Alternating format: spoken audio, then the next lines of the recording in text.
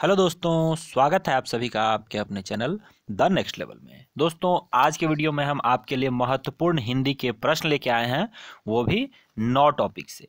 ये नौ टॉपिक से जुड़े हुए प्रश्न हैं, जिनके एग्ज़ाम में आने की बहुत बहुत बहुत ज़्यादा संभावना है। दोस्तों, अगर आपको वीडियो पसंद आता है अच्छा लगता है तो वीडियो को लाइक ज़रूर करें।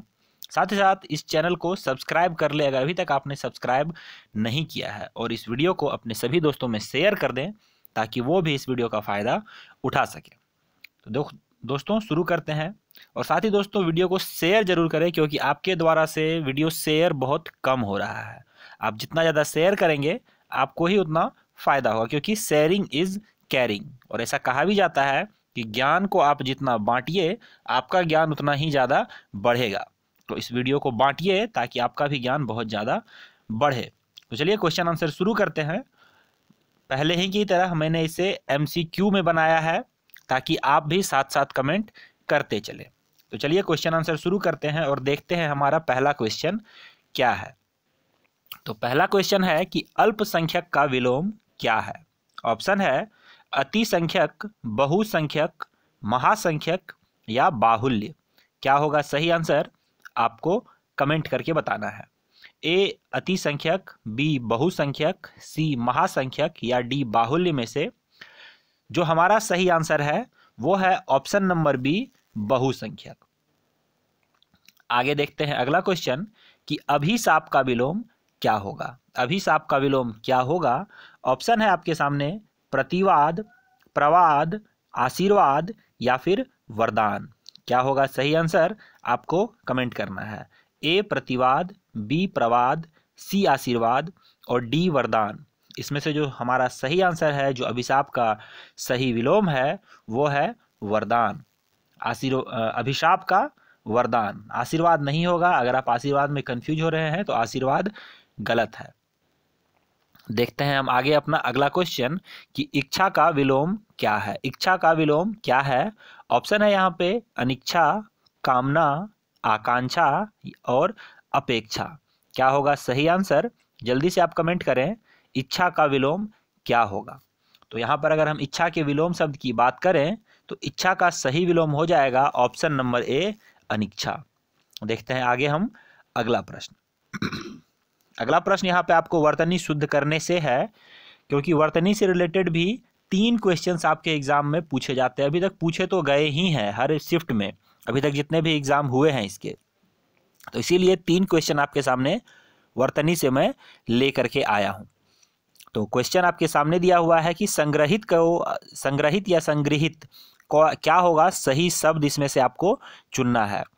ए वाला बी वाला सी वाला या फिर डी वाला।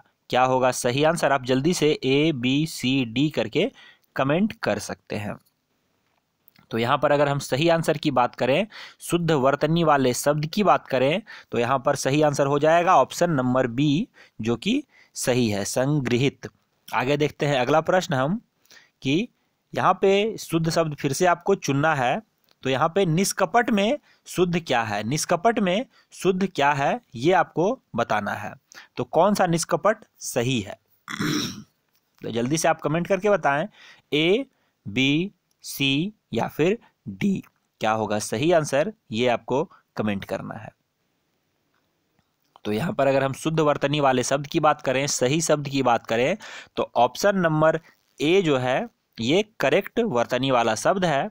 आगे देखते हैं कि वर्तनी फिर से शुद्ध करना है पुनर्विचार का। वर्तनी फिर से आपको शुद्ध चुनना है पुनर्विचार।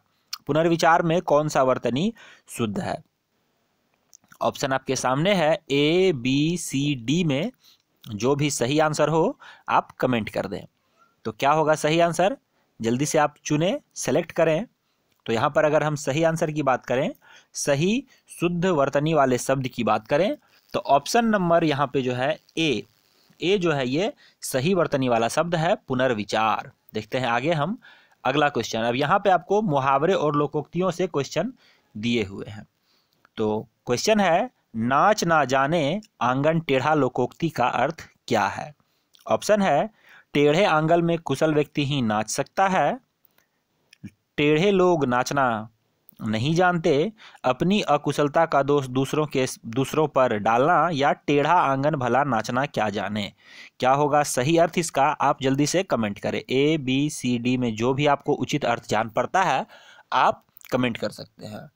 तो यहाँ पर अगर हम सही आंसर की बात करें तो सी नंबर जो है, ये उचित अर्थ बता रहा है। अपनी अकुशलता का दोष दूसरों पर डालना, नाच ना जाने आँगन टेढ़ा लोकोक्ति का उचित अर्थ है। आगे देखते हैं हम कि दूध का जला छाछ भी फूक फूक कर पीता है। क्या होगा इसका अर्थ? सही अर्थ? ऑप्शन आपके सामने है कि एक बार धोखा खाने वाला अधिक सावधान हो जाता है। बार बार धोखा खाने वाला दोबारा धोखा एक बार धोखा खाने वाला दोबारा धोखा नहीं खाता, एक बार मिले कष्ट को व्यक्ति कभी नहीं भूलता, या ऐश्वर्य में रहने वाला व्यक्ति गरीबी में भी ठाठ में, ठाठ से रहता है। क्या होगा? सही अर्थ, दूध का जला छाछ भी फूक फूक कर पीता है का? जल्दी से आप कमेंट करके बताएँ। काफ़ी आसान और life to life connected questions हैं ये तो जल्दी से आप कमेंट करके बता दें। तो यहाँ पर अगर हम सही अर्थ की बात करें तो ऑप्शन नंबर ए जो है, ये सही अर्थ बता रहा है, एक बार धोखा खाने वाला व्यक्ति अधिक सावधान हो जाता है। चलिए आगे देखते हैं, अगला हम, हमारा नाइन्थ नंबर क्वेश्चन है कि तबले की बला बंदर के सिर। तबले की बला बंदर के सिर क्या होगा इस लोकोक्ति का उचित अर्थ? किसी की शिकायत दूसरे से करना, एक दूसरे से लड़वाना किसी का अपराध दूसरे के सिर या अपना दोष दूसरे के सिर मढ़ना। क्या होगा? सही आंसर इसका जल्दी से आप कमेंट करके बता दें। ए, बी, सी और डी में उचित अर्थ क्या है? तबले की बला बंदर के सिर, लोकोक्ति का ये आपको बताना है। तो जल्दी से आप बता सकते हैं। तो यहाँ पर जो है सही आंसर हो जाएगा ऑप्शन नंबर सी में। किसी के अपराध दूसरे के सिर, किसी के अपराध दूसरे के सिर जो है, ये तबले की बला बंदर के सिर लोकोक्ति का उचित अर्थ है। आगे देखते हैं हम, मित्र का पर्यायवाची शब्द कौन सा है? मित्र का पर्यायवाची शब्द कौन सा है? ऑप्शन है सहपाठी, सहचर, सहोदर या फिर सखा। मित्र का पर्यायवाची शब्द कौन सा है? जल्दी से आप कमेंट करें। सहपाठी, सहचर, सहोदर या फिर सखा। क्या होगा सही आंसर? आप फटाफट कमेंट कर सकते हैं। तो यहाँ पर अगर हम पर्यायवाची शब्द की बात करते हैं, उचित पर्यायवाची शब्द की तो मित्र का उचित पर्यायवाची शब्द हो जाएगा ऑप्शन नंबर डी, सखा। सखा जो है, मित्र का पर्यायवाची शब्द होता है। आगे देखते हैं हम भौरा। भौरा का उचित पर्यायवाची शब्द क्या होगा? ऑप्शन है यहाँ पे रसाल, मधुप, सौरभ या मुकुर। क्या होगा? भौरा का उचित पर्यायवाची शब्द आपको कमेंट करके बताना है। ए बी सी और डी में भौरा का उचित पर्यायवाची शब्द क्या होगा? ये आप कमेंट करें। तो भौरा का उचित पर्यायवाची शब्द यहाँ पे हो जाएगा ऑप्शन नंबर बी मधुप। ऑप्शन नंबर बी मधुप। भौरा का और भी अर्थ होता है, अली होता है, भ्रमर होता है, बहुत सारे इसके अर्थ होते हैं। तो पर्यावाची शब्द आप ज़रूर से ज़रूर याद करें। अगला है, बादल का पर्यावाची शब्द क्या है? बादल का पर्यावाची शब्द क्या है? ऑप्शन है, जलज जलधि रसभर जलभर या नीरज।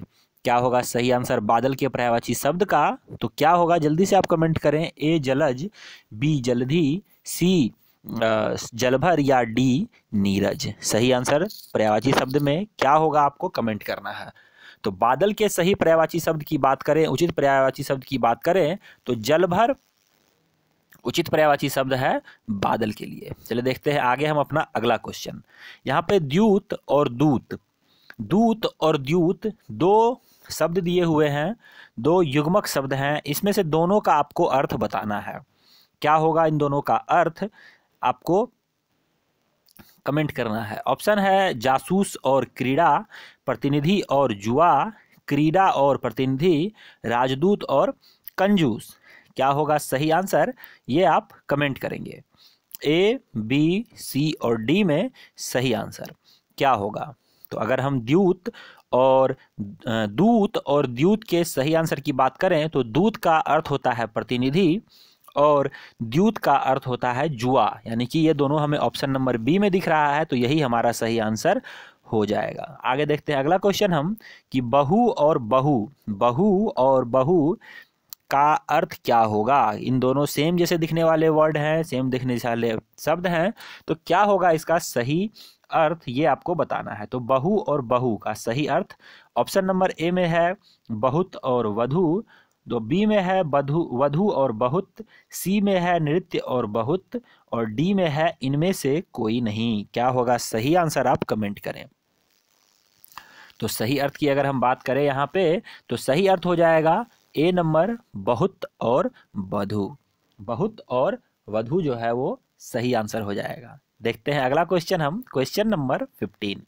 Question number fifteen है, बद्ध और वृद्ध शब्द शब्द युग्मक का अर्थ क्या है? बद्ध और वृद्ध शब्द युग्म का अर्थ क्या है? ऑप्शन है घायल बूढ़ा, बंधा हुआ और बूढ़ा, अधेर और बूढ़ा, और युवा और बूढ़ा। क्या होगा इसका सही आंसर आप कमेंट करें।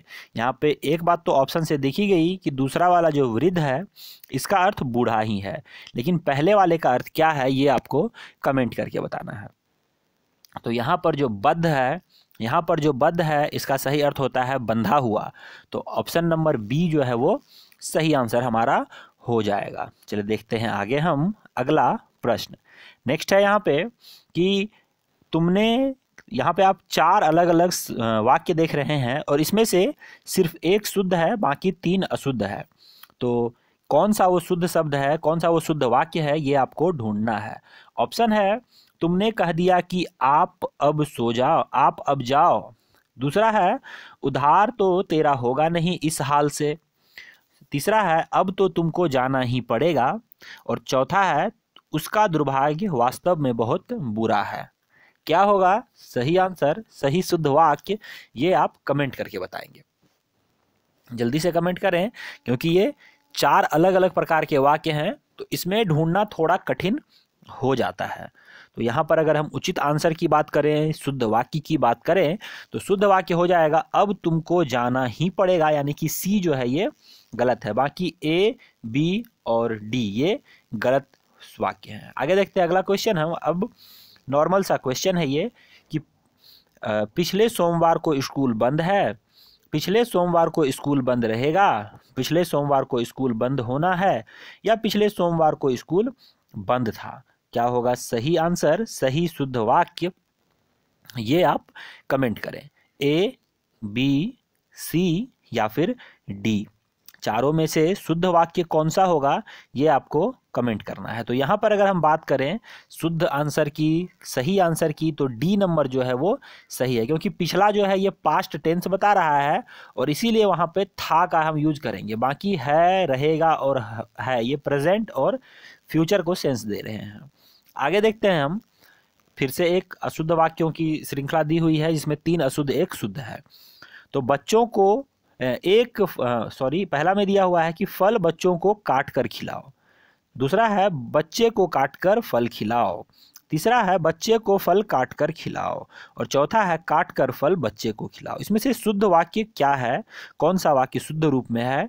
ये आप कमेंट करके बताएँगे। ए बी सी और डी में शुद्ध वाक्य वाला शब्द कौन सा है? तो ये आप जल्दी से कमेंट करें। ए बी सी या फिर डी तो यहाँ पर सही आंसर हो जाएगा। ऑप्शन नंबर सी बच्चे को फल काट कर खिलाओ, सही अर्थ वाला और सही शुद्ध रूप वाला वाक्य है। आगे देखते हैं हम अगला क्वेश्चन यहाँ पे स्त्रीलिंग से एक क्वेश्चन पूछा गया है। वहाँ पे चार ऑप्शन आपको दे रखे हैं और सही लिंग का आपको चयन करना है। तो कौन सा शब्द स्त्रीलिंग है, ये आपको बताना है। ऑप्शन है सील शक, शहद या फिर शराब। सील शक, शहद या फिर शराब। कौन सा शब्द स्त्रीलिंग है, ये आपको चुनना है इनमें से। तो क्या है सही शराब सही स्त्रीलिंग, शराब, शहद, शक और सील में से तो ये आप कमेंट करें। ए बी सी या फिर डी तो अगर हम सही स्त्रीलिंग शब्द की बात करें तो शराब जो है, शराब जो है ये स्त्रीलिंग है, ये स्त्रीलिंग है। और बाकी सब पुलिंग है। चलिए देखते हैं अगला क्वेश्चन हम की वत्स। वत्स शब्द क्या है? ऑप्शन है स्त्रीलिंग, पुलिंग, उभयलिंग या उपयुक्त सभी। क्या होगा? सही आंसर आप कमेंट करेंगे। ए स्त्रीलिंग बी पुलिंग सी उभयलिंग और डी उपयुक्त सभी। अगर ए है तो ए ए ए करके आप कमेंट कर सकते हैं। बी है तो बी बी बी करके। सी है तो सी सी सी करके और डी है तो डी डी डी करके आप कमेंट कर सकते हैं। तो वत्स जो है एक पुलिंग शब्द है। वत्स जो है एक पुलिंग शब्द है। चलिए देखते हैं आगे हम अगला क्वेश्चन कि निम्न में से स्त्रीलिंग कौन है? कौन स्त्रीलिंग है? गंगा है, यमुना है, सरस्वती है या सभी है? गंगा है, यमुना है या सरस्वती है या सभी है? क्या होगा? आपका सही आंसर आप जल्दी से कमेंट करें। A B C D A Ganga B Yamuna C Saraswati या डी सभी। क्या होगा सही आंसर? तो यहाँ पर जो स्त्रीलिंग है वो है ये सभी, क्योंकि गंगा, यमुना और सरस्वती जो है वो सभी नदियाँ हैं और नदियों के नाम हमेशा स्त्रीलिंग रखे गए हैं। भारत में सभी नदियों को माता का दर्जा दिया गया है। सिर्फ़ एक ही ऐसी नदी है जिसे हम पुलिंग मानते हैं, पुरुष मानते हैं। कौन सी वो नदी है? अगर आपको पता है तो आप मुझे कमेंट करें। नहीं तो मैं आपको बताता हूँ। तो जल्दी से अगर आपको पता है कि कौन सी एक नदी है, जो पुरुष है, पुलिंग है तो आप जल्दी से कमेंट करें। और नहीं पता है तो मैं आपको बता ही रहा हूँ। तो आई होप अगर आपको पता है तो आप कमेंट करेंगे। तो मैं आपको सीधे आंसर बता देता हूँ। वो एक नदी है, ब्रह्मपुत्र। ब्रह्मपुत्र नदी को क्या माना गया है? इस नदी को हम पुत्र, ये पुत्र जिस नाम ही है यहाँ पे ब्रह्मपुत्र, ब्रह्मा का ये पुत्र है। ये ब्रह्मा का पुत्र माना जाता है। इसीलिए ये पुलिंग है, बाकी जितनी भी नदियाँ हैं, वो सभी की सभी नदियाँ स्त्रीलिंग मानी जाती हैं। अगला है कि निम्न में से कौन सा पद संधि नहीं है? संधि नहीं है। ऑप्शन है यद्यपि पवन, नरेंद्र और कामिनी। क्या होगा? सही आंसर आप कमेंट करेंगे। ए, यद्यपि, बी, पवन, सी, नरेंद्र या डी, कामिनी। क्या होगा? कौन सा संधि पद नहीं है? यानी कि कौन सा संधि से नहीं बना है? तो जल्दी से आप कमेंट करें ए बी सी और डी में। क्वेश्चन काफ़ी इंपॉर्टेंट है। आपके एग्ज़ाम में बहुत इंपॉर्टेंट ये बन सकता है। तो सही आंसर हो जाएगा ऑप्शन नंबर डी कामिनी। कामिनी जो है वो संधि से नहीं बना है, बाकी तीन संधि से बने हुए हैं। अगला क्वेश्चन है, गए ज़ोर अक। गए ज़ोर अक शब्द की संधि करने पर शब्द होगा। कौन सा? गए ज़ोर अक शब्द की संधि करने पर कौन सा शब्द बनेगा? गई अक, गायक, गैयक या गैक? क्या होगा? सही आंसर आप जल्दी से कमेंट करके बताएँगे। ए बी सी या फिर डी आपका जो सही आंसर आप फटाक से कमेंट कर दें। तो यहाँ पर अगर हम सही आंसर की बात करें, शुद्ध आंसर की बात करें तो ऑप्शन नंबर बी जो है गायक, ये सही है गए ज़ोर अक गायक हो जाता है। नेक्स्ट देखते हैं हम ट्वेंटी फोर्थ, कि देवोपम शब्द का सही संधि विच्छेद क्या है? देवोपम शब्द का सही संधि विच्छेद क्या है? ऑप्शन है आपको देवो ज़ोर पम, देवा ज़ोर ओपम, देव ज़ोर उपम या देवह ज़ोर उपम। क्या होगा? सही आंसर आप कमेंट करके बताएँगे। ए बी सी या फिर डी क्या होगा सही आंसर? आप फटाफट फटाफट कमेंट करेंगे। तो यहाँ पर अगर हम उचित आंसर की बात करें, सही आंसर की बात करें तो जो सही आंसर जान पड़ता है, ये सही आंसर है ऑप्शन नंबर डी देवह ज़ोर उपम, देवोपम। आई होप आपको क्लियर हुआ होगा। और आज का आखिरी क्वेश्चन हम देख लेते हैं कि निम्न में से कौन सा तत्सम शब्द है? निम्न में से कौन सा तत्सम शब्द है? ऑप्शन है दुख दुख दुख या दूध। क्या होगा? सही आंसर ये आप कमेंट करेंगे। दुख तो अलग प्रकार से लिखे हुए हैं और दुख। ये भाषा के उत्पत्ति के आधार पर शब्दों को बांटा गया है। तत्सम, तद्भव देशज और विदेशज तो तत्सद, तत्सम शब्द कौन है? यहाँ पे ये आपको बताना है। मैंने पिछले क्लास में ही आपको इन सभी के अलग अलग डिफरेंसेस बताए थे। कौन सा शब्द तत्सम होता है, कौन सा शब्द तद्भव होता है। तो आई होप आपको पता होगा और सही आंसर भी आपको पता होगा, क्योंकि सही आंसर यहाँ पे है ऑप्शन नंबर ए, दुख। तो दोस्तों, ये थे टोटल ट्वेंटी फाइव क्वेश्चन आपके कितने मार्क्स बन रहे हैं, ये आप कमेंट करके मुझे एंड में ज़रूर बताएँ। क्योंकि ये चेक करना बहुत ज़्यादा ज़रूरी है कि आपकी तैयारी, अब क्योंकि एग्ज़ाम में ज़्यादा समय बचा नहीं है तो आपकी तैयारी अच्छी है या नहीं, इसीलिए हम प्रैक्टिस सेट्स लेकर आ रहे हैं। बाकी जीके के भी प्रैक्टिस सेट आपको मिलते हैं मैथ्स के भी हमने शुरू करे हैं रीजनिंग के भी आपको मिल रहे हैं। तो इन सभी को आप अच्छे से प्रिपेयर करें, अपने सभी दोस्तों में शेयर करें, अपने दोस्तों के साथ मार्क्स को कंपेयर करें। कि उनके कितने आ रहे हैं, आपके कितने आ रहे हैं। शेयर जब आप करेंगे तो वो देखेंगे और फिर आप उनसे पूछें कि आपका कितना मार्क्स आया है या फिर इस सेट में आपका कितना मार्क्स बना है। तो उससे आप अपनी तैयारी को आंक पाएँगे और मार्केट में क्या चल रहा है, यानी कि दूसरे लोग किस लेवल पे हैं, ये भी आपको समझ में आएगा। क्योंकि खुद अकेले अगर आप तैयारी कर रहे हैं तो आपको दूसरे के बारे में पता नहीं चलेगा और वो भी जानकारी रखना ज़रूरी है। क्योंकि एग्ज़ाम में जो कट ऑफ़ बनेगा, वो दूसरे से आपकी प्रतिस्पर्धा को देखते हुए बनेगा। अगर अगला आपसे ज़्यादा तेज है तो हो सकता है कि उसके मार्क्स ज़्यादा आए और वो कट ऑफ़ बना ले। इसीलिए अपने सभी दोस्तों के साथ इस वीडियो को शेयर भी कर दें और उनके भी मार्क्स जाँचें कि उनके कितने मार्क्स बन रहे हैं। तो ये वीडियो आपके लिए इसीलिए बहुत ज़्यादा इंपॉर्टेंट है और साथ ही साथ अगर वीडियो पसंद आया तो वीडियो को लाइक ज़रूर करें और चैनल को सब्सक्राइब करके इस बेल वाली घंटी को दबा लें। साथ ही साथ आपको कितने मार्क्स बन रहे हैं, कमेंट करके ज़रूर बताएँ। तो इस वीडियो में इतना ही। आज के लिए इस वीडियो के बाद, इस वीडियो के लिए अलविदा। अब मैं मिलूँगा आपसे अगली वीडियो में। तब तक के लिए अलविदा। जय हिंद, जय भारत, वंदे मातरम।